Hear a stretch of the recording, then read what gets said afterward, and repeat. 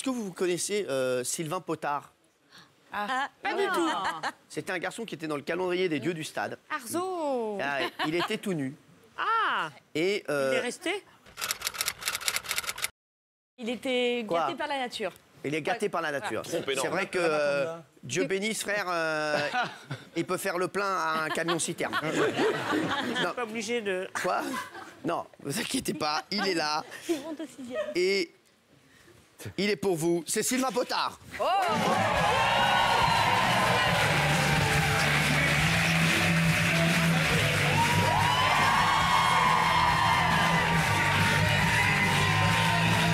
Merci Sylvain. Sylvain Potard qui est